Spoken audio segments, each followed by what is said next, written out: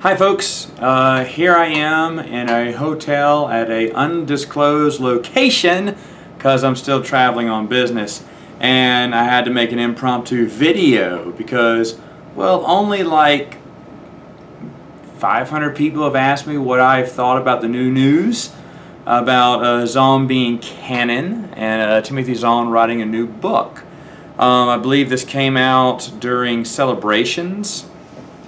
And uh, well, I mean, I've talked about this before I, several times. I know I've talked about it several times in the podcast, Prince of the Universe, and I've already given my thoughts on it. Well, now that it's really happened, uh, see, first off, remember, uh, some of you watch the uh, or listen to the podcast. I, I, I kind of thought it would, you know, with uh, Filoni uh, making all the comments on Twitter, you know, sometimes legends are real, and then all the rumors about Timothy Zahn. And I always said, and I still say this, uh, folks, remember, if you're, and for those who are excited, good, good. I'm, I'm glad you're happy that Thrawn or a, a Thrawn character will be canon. It won't be the Thrawn from Legends.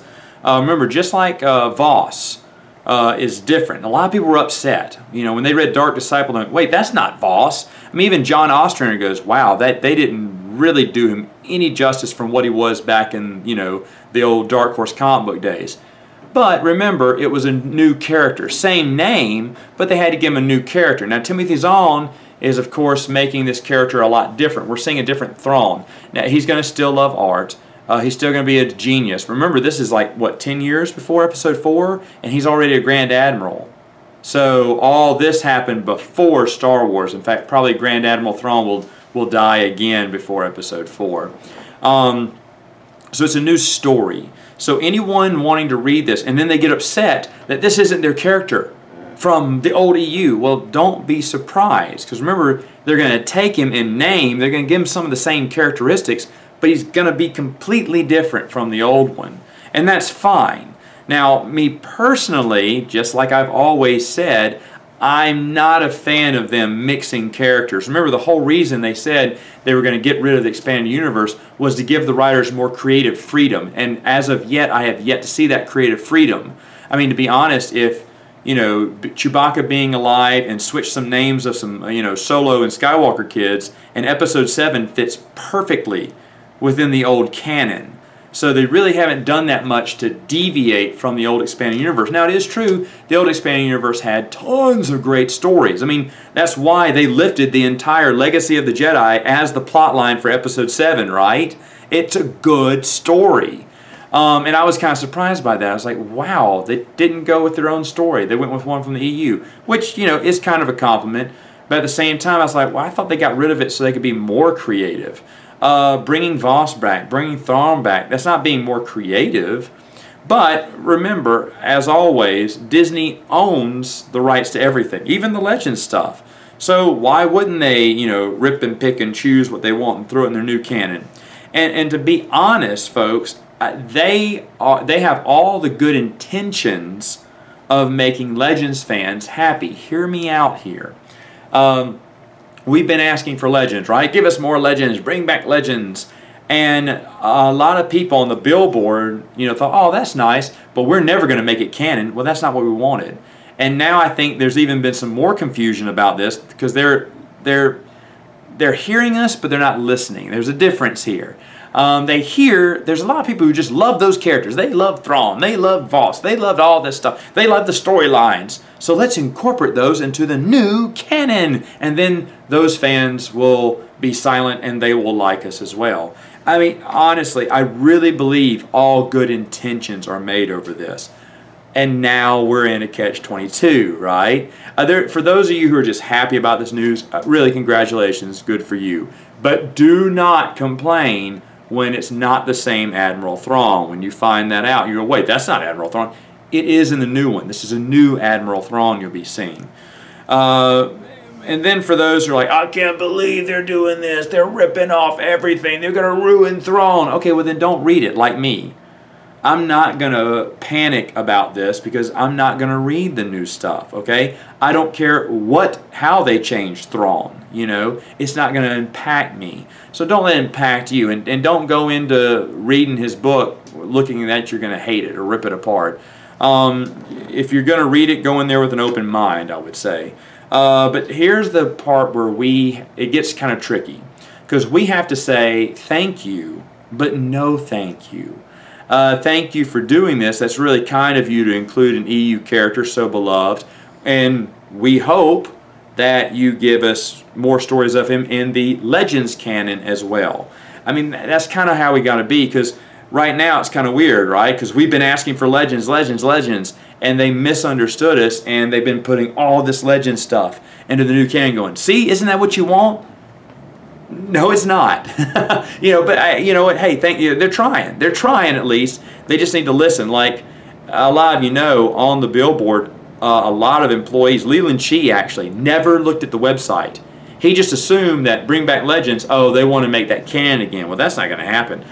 He didn't even go to the website and find it out for himself what they really what we really wanted. And there's a few new, news outlets that did that too. As you remember, I confronted a few and said, I don't think you guys went to the website. Sure enough, there was an apology update on the news article afterwards, which I appreciated because they didn't do their homework. But you didn't even check the website to check the story? I don't know, it's kind of weird. It's bad journalism, I think. Either way, though, um, so what do I think about it? I mean, that's fine. I would rather they create new characters for the new canon, but hey, you know what? As always, Disney owns the rights and it won't impact me or upset me because I'm not reading the new stuff anyway.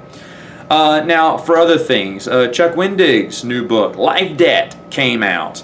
And I'm going to show you example of what happens when you leave a false review on Amazon. See, this guy tried to give it five stars, but unfortunately Amazon caught on to him that he personally knows the author.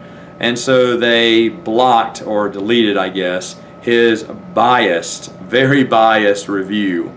Uh, now that's kind of funny because you know I did a video, uh, what was it, last year, about how it's so weird that all these people give it five stars even though they haven't read it yet or they didn't say much about it or it wasn't a verified purchase.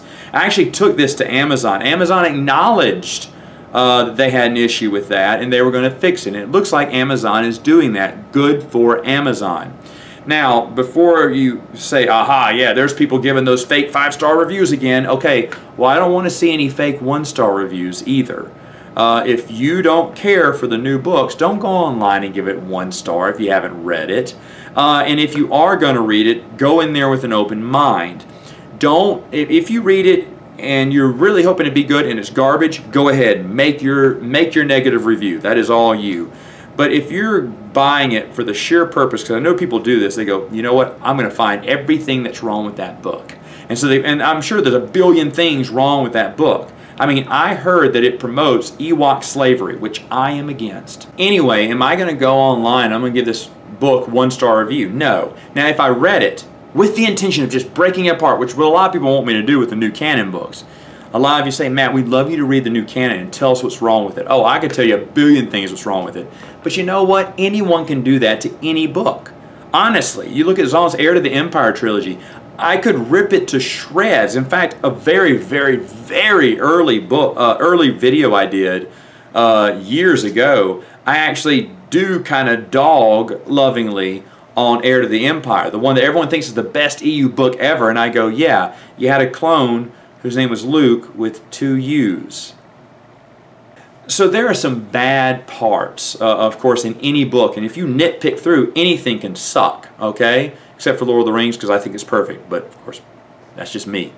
But don't go in there, you know, if you're going to read this book, don't go in there thinking, okay, I'm ready to tear this apart, because I know there's a billion things you can hate uh, about that book, but that goes for any book. Give an honest review, whether it's five stars, whether it's one star. But watch out for those biased reviews because Amazon is going to shut you down. Also, finally, there was a rumor going around that they were stopping the reprint of Legends books, and I don't think that's true. If you look at this uh, post by Jennifer Heddle, uh, denying that rumor, saying no, they're always going to go in print, which I would agree. I don't see why not. As long as they're selling, folks, as long as they're selling Legends books, they're going to continue to print them, guaranteed.